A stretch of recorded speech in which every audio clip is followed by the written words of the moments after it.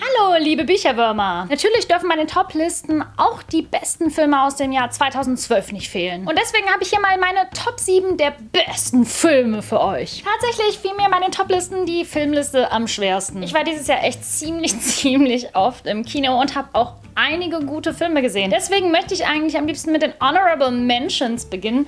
Das sind einfach so ein paar Filme, die ich besonders gut fand, die es aber aus verschiedenen Gründen nicht in die Topliste geschafft haben. Fangen wir an mit Black Clansman. Den fand ich so unfassbar gut, aber, aber die Top 7 war einfach stärker. Genauso wie I Feel Pretty. Der hat mich unfassbar gut unterhalten, weil der auch so lustig war und eben nicht diesen typischen Amy Schumer Humor hatte. Ja, und leider hat es auch Peter Hase nicht in die Top 7 Liste geschafft, aber der war so süß und die Hasen waren einfach so gut animiert. Ja, auch ein Star Wars Film, Solo A Star Wars Story, konnte es nicht in die Top Liste schaffen. Ich musste ihn aber trotzdem aufnehmen und erwähnen, weil ich ihn natürlich dennoch mega, mega gut fand. Ich habe 2018 relativ spät Bohemian Rhapsody gesehen, aber trotzdem, mein Freddy-Herz ist so aufgegangen. Ein richtig, richtig guter Film war auch The Man Who Killed Don Quixote. Und zwar nicht nur wegen Adam Driver. Der war einfach so skurril und so lustig und so dämlich zwischendurch. Ich habe den total abgefeiert. Irgendwie wirkt es so ein bisschen, als wäre der letzte Maze Runner Teil 2017 rausgekommen. Aber der kam ja relativ am Anfang von 2018. Deswegen hatte ich den gar nicht mehr so im Kopf. Aber Maze Runner, die Auserwählten in der Todeszone, war so gut. Oh. Und ich fand das Ende auch noch irgendwie so viel besser als im Buch. Oh. Und auch Spider-Man Into the Spider-Verse hat mich so überrascht, weil das von den Animationen was war, was ich noch nie in meinem Leben gesehen habe, weil es wirklich wie so ein Comic ist tatsächlich. Und Spider-Gwen, allein deshalb fand ich den schon so mega. Und jetzt zuletzt bei den Honorable Mentions kommt noch ein Filmtitel, dessen Titel ich nicht unbedingt gut aussprechen kann, weswegen ich ein bisschen schiele und ablese. Three Billboards Outside Ebbing, Missouri. Boah, das war einfach so ein Höllenritt. Der war so spannend und voller Emotionen und Dramatik. Und den habe ich auch relativ am Anfang von 2018 gesehen. Aber auch der hat es leider nicht in die Topliste geschafft. Ihr seht also, die Toplisten-Filme müssen sich mit einer ganz schön krassen Konkurrenz rumschlagen. Deswegen wollen wir gar nicht weiter fackeln. Kommen wir jetzt mal direkt zu meiner Top 7.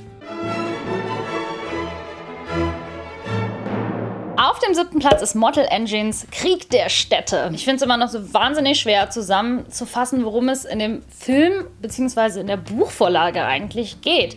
Das Ganze spielt in einem Zukunftsszenario und die Städte sind eben nicht mehr so auf dem Land, wie wir das kennen, sondern das sind alles so rollende Städte. Das sind so richtige Maschinen.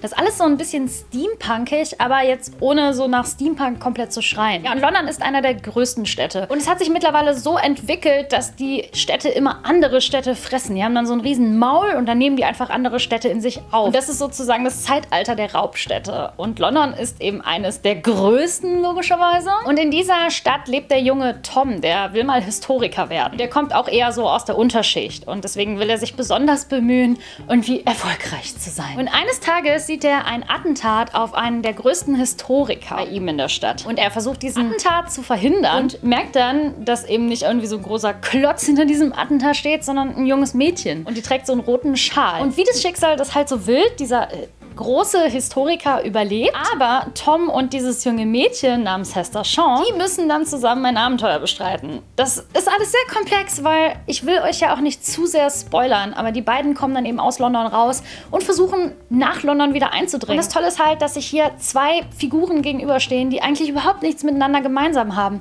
weil Hester kommt von einer Stadt, die halt wirklich auch noch eine Stadt ist und die findet dieses ganze Raubstättenprinzip total dämlich und blöd und will dagegen ankämpfen.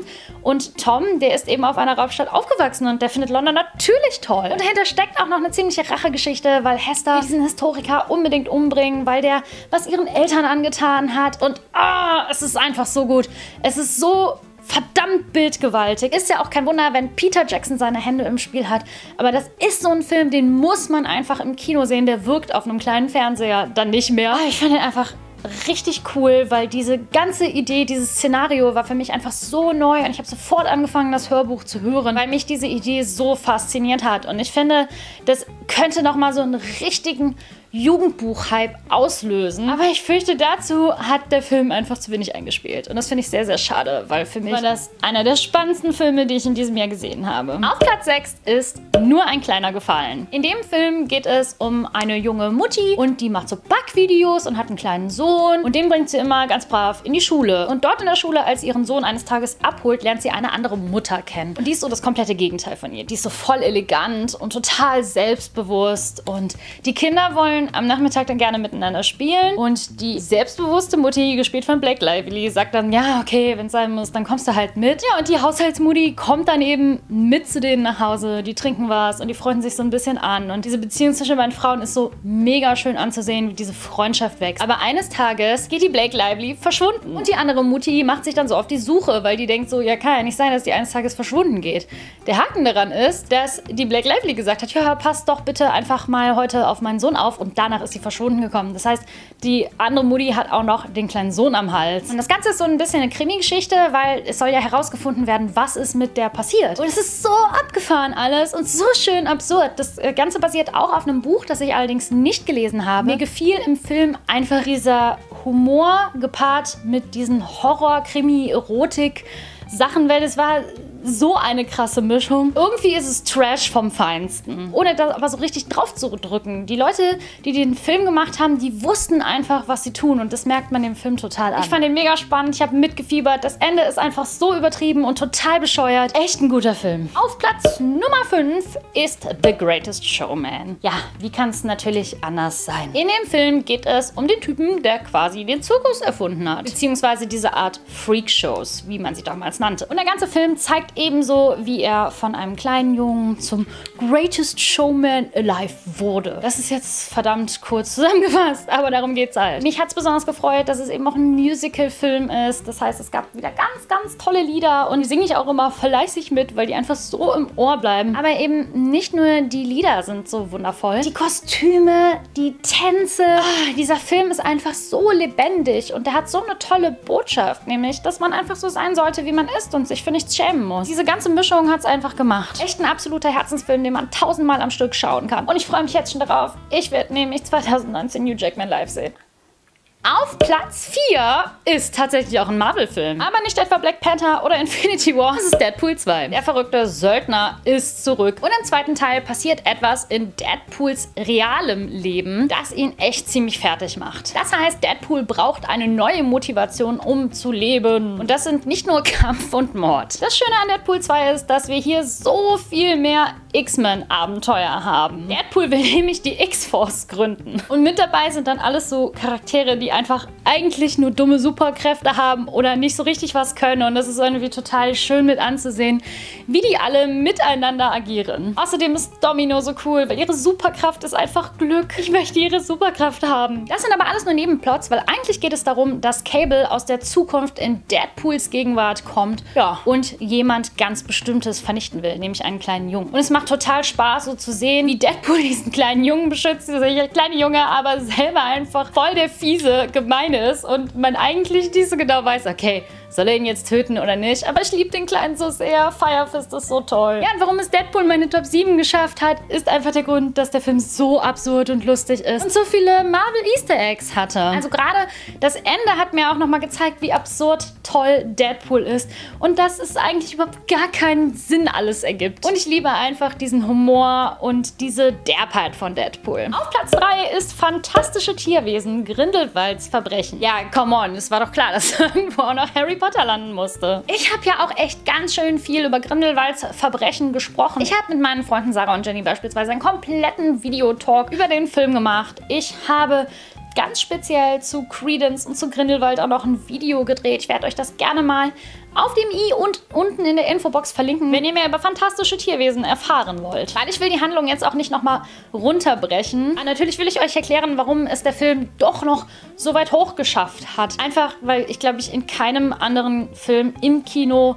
diese Erfahrung gemacht habe, dass ich dachte, wow, wow, krass und so angespannt war wie in diesem Film. Also wenn ich ihn jetzt mal mit so ein paar anderen Filmen aus meiner Top-Liste vergleiche, muss ich schon sagen, dass das Drehbuch eher schwächer war als bei anderen Filmen und dass der Film vielleicht auch insgesamt nicht ganz so schlüssig und gut war wie die anderen Filme. Aber das war der Film, bei dem ich mich am meisten in meinen Kinositz gekrallt habe und bei dem ich dachte, oh mein Gott, ich, ich ertrage es nicht mehr, ich muss wissen, was los ist. Und ich finde, alleine dafür hat der Film einen hohen, hohen Platz in meiner Top-Liste verdient. Auf den ersten beiden Plätzen sind auch solche Filme, die für mich vor allem wegen der Kino-Experience so toll waren. Auf Platz 2 ist daher Mamma Mia, Here We Go Again.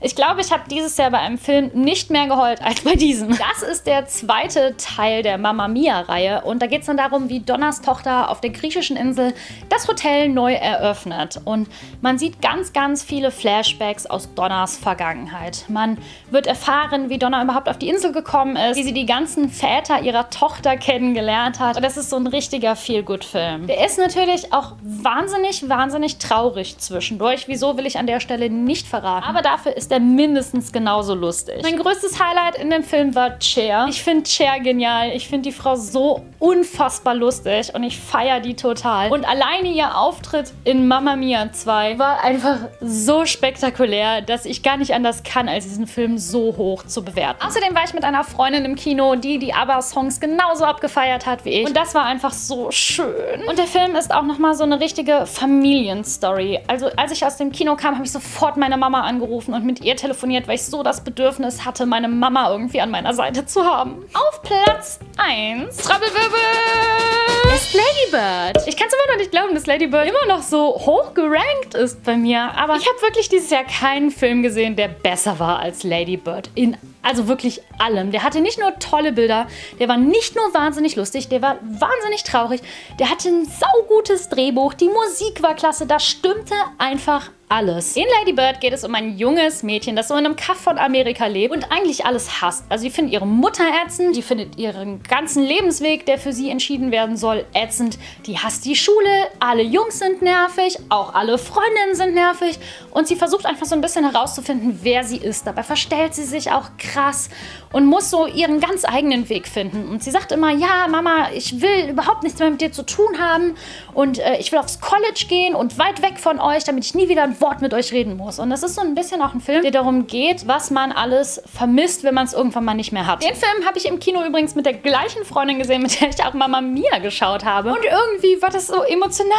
weil wir auch fast ganz allein im Kino waren und dann auch eben so ein bisschen darüber diskutieren konnten während des Films. Und das hat es irgendwie noch mal schöner gemacht. Lady Bird ist so richtig Dramedy vom Feinsten. Und das ist so mitunter mein absolutes Lieblingsgenre. Wenn man sich gar nicht entscheiden kann, wie ich jetzt heulen oder wie ich jetzt lachen. Ach ja, 2018 war so ein gutes Kinojahr. Ich würde von euch jetzt gerne mal wissen, was denn euer absolutes Filmhighlight in 2018 war. War es doch Infinity War oder etwas anderes? Und ich bin mir ziemlich, ziemlich sicher, dass einige von euch fantastische Tierwesen schreiben werden. Aber vielleicht habt ihr auch einen ganz anderen tollen Filmtipp für mich von einem Film, den ihr 2018 gesehen habt, den ihr mega gut fandet und den ich vielleicht auch noch nicht geschaut habe. Ich freue mich auf jeden Fall, von euch zu lesen. An der Stelle möchte ich mich auch noch bei allen Filmverleihen und Agenturen bedanken, die mir zwischenzeitlich ein paar Pressetickets zur Verfügung gestellt haben. Und auch nochmal vielen Dank an alle coolen Kinos. Ich bin Lea von Liberiarium. Ihr findet mich auf Facebook, Twitter und Instagram unter Liberiarium. Und natürlich würde ich mich auch sehr, sehr freuen, wenn ihr mich dann mal auf meinem Blog besucht. Und mir gibt es immer mittwochs und sonntags ein geekiges oder buchiges Video. Und wir sehen uns dann im nächsten Video. Tschüss, Bücherbaba. Beispielsweise. Blablabla. Mikrotest 1, 2, 3. Schinken, Schinken, King. Schinken, Schinken, Schinken. Mir gefilmt beim Film. Bla bla bla bla.